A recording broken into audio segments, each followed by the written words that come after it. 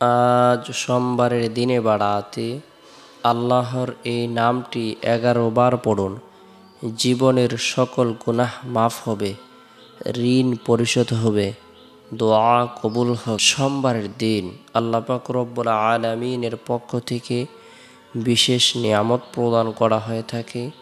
সোমবারের দিন আল্লাহ তালা সারা পৃথিবীর সমস্ত মানুষের আমল সমূহর রিপোর্ট পেশ করে থাকেন।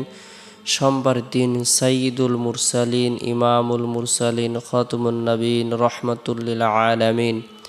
আমাদের হৃদয়ের স্পন্দন কলিজার টুকরা জনাবে মোহাম্মদুর রসুল্লাহ সাল্লাহ আলি সাল্লাম এই পৃথিবীতে আগমন করেছেন। সোমবারের দিনটি আল্লাহ তালার কাছে অনেক পছন্দনীয় একটি দিন। এই দিনটিকে স্বয়ং নবী করিম সাল্লাহ আলি সাল্লাম গুরুত্ব দিত এই দিনে নবী সাল্লাহ আলি সাল্লাম আল্লাহ তালার কৃতজ্ঞতা জ্ঞাপন করার উদ্দেশ্যে আল্লাহর শুকুরে আদায় করার উদ্দেশ্যে নফল রোজা রাখতেন।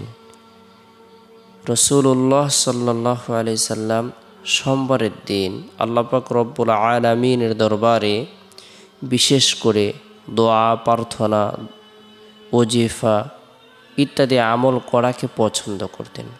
তাই আমরাও সোমবারের দিনটিকে গুরুত্ব দেব। এই দিনে নফল ইবাদত বন্দিকে করার জন্য চেষ্টা করব, নফল নামাজ পড়ব। কোরআন তেলাওয়াত করব, জিকির আজগার করব তাসবি তাহলিল পাঠ করব, রব্বুল আলামিন দরবারে রুনাজারি করব। সম্ভব হলে নফল রোজা রাখব। কেননা কাল কিয়ামতের দিন রোজা বান্দার জন্য সুপারিশ করবে এবং কি বান্দাকে জান্নাত পর্যন্ত পৌঁছায় দেবে, সুবহানাল্লাহ। তাই বরকতপূর্ণ এই আমল করার জন্য চেষ্টা করব। সোমবারের দিন ফজরের পর থেকে নিয়ে এশা পর্যন্ত, অর্থাৎ পাঁচ অক্ত নামাজের পরে কিছু দোয়া, দুরুদ, ওজিফা, আল্লাহর নাম ইত্যাদি আমল করার জন্য চেষ্টা করব। কেননা বান্দা অথবা বান্দি, নারী অথবা পুরুষ, যুবক অথবা যুবতী, জোয়ান অথবা বৃদ্ধ, কোনো ব্যক্তি যদি আল্লাহ তালার প্রতি ভরসা রেখে কোনো ন্যাক কাজ করে, ন্যাক আমল করে ন্যাক আমলের পরবর্তী আল্লাহ তালা তার দোয়াকে কবুল করেন। আল্লাহ তালার কাছে যা কিছু কামনা করবে, বাসনা করবে, ইচ্ছা পোষণ করবে, আল্লাহ তালা তার জন্য যেটা কল্যাণকর সাথে সাথে প্রদান করবেন। সোমবারের দিন ফজরের নামাজ সম্পূর্ণ করার পর পবিত্র কোরআনের বরকতপূর্ণ একটি সৌরা, সৌরাতুল হাসরের শেষ তিনটি আয়াত আমরা আমল করব। أعوذ بالله السميع العليم من الشيطان الرجيم أعوذ بالله السميع العليم من الشيطان الرجيم কোনো ব্যক্তি যদি এভাবে আউযু বিল্লাহ তিনবার পাঠ করে এরপরে হু আল্লাহুল্লাযী লা ইলাহা ইল্লাহু আলিমুল গায়বি ওয়াশ শাহাদাতি হুয়ার রহমানুর রহিম শেষ পর্যন্ত আমল করে আল্লাহ রব্বুল আলমিন তার জন্য বিশেষ দুটি ফজিলত প্রদান করবেন। এক নম্বর ফজিলত হলো আল্লাহ তালা তার জন্য সত্তর হাজার ফেরিস্তা নিযুক্ত করে দিবেন। এই সত্তর হাজার ফেরিস্তা মাগরিব পর্যন্ত, সন্ধ্যা পর্যন্ত সূর্য অস্ত পর্যন্ত তার জন্য মাগফিরাত কামনা করতে থাকবে। সুবহান আল্লাহ দুই নম্বর ফজিলত হলো সে যদি এই দিনে ইন্তিকাল করে মারা যায় আল্লাপাক রব্বুল আলমিন তাকে শহীদি মর্যাদা দান করবেন। তাই আমরা ফজরের নামাজ সম্পূর্ণ করার পর বরকতপূর্ণ এই আমলটি করার জন্য চেষ্টা করব। এরপরে সোমবারের দিন জোহরের নামাজ সম্পূর্ণ করার পর নিরিবিলি এক পরিবেশের মধ্যে বসে গুরুত্ব সহকারে আল্লাহর গুণবাচক বরকতপূর্ণ এই নামটি আমল করব। এগারো বার আল গফুরু আল গফুরু নামের অর্থ হলো ক্ষমাশীল।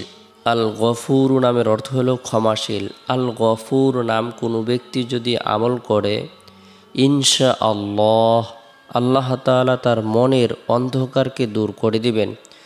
গুনাহের কারণে যে তার অন্তরের মধ্যে কালো দাগ পড়েছে, অন্তর অন্ধকার হয়েছে। আল গফুর নাম আমল করার কারণে আল্লাহ তালা অন্তরের অন্ধকার, মনের অন্ধকারকে দূর করে দেবেন।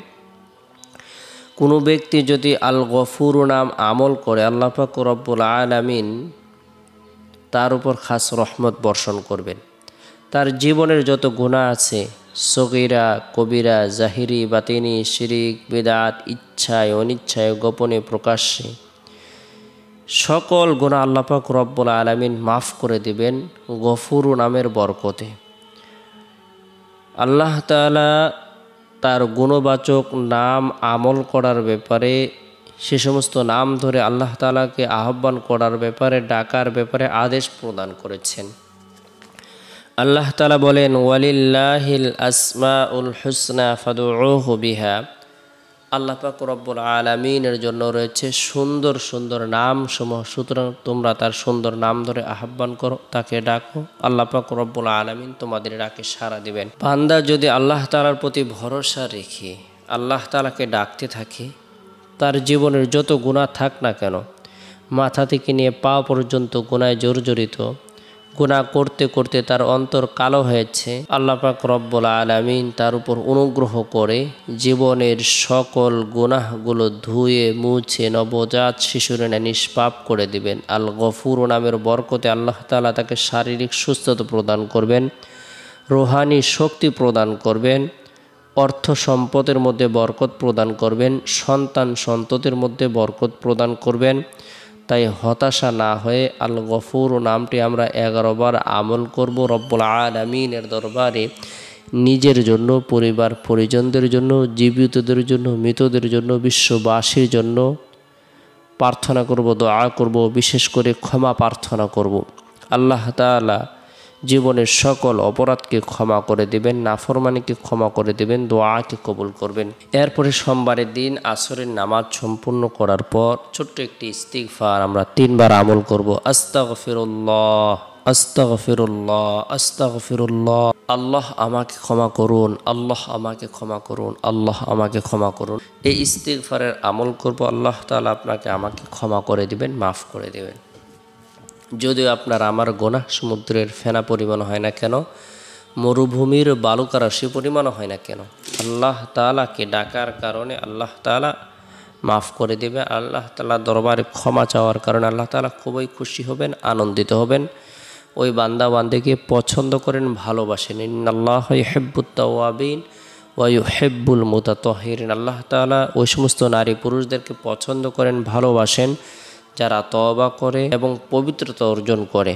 তাই আমরা তবা করব, পবিত্রতা অর্জন করব। দিন শেষ হওয়ার পর যে রাত আসে, এই রাতটি হলো ফজিলতপূর্ণ একটি রাত। এই রাতের মধ্যে বিশেষ করে এশারের নামাজ সম্পূর্ণ করার পর নবী সাল্লাহ আলি সাল্লামের প্রতি মোহাব্বত রেখে, ভালোবাসা রেখে দুরুদের আমল করব একশতবার। আল্লাহ সাল্লি আবদিকা রসুলিক ওয়াসল্লি আলাল মিনিন উল মিনাত উল মুসলিমিন উল মুসলিমাত।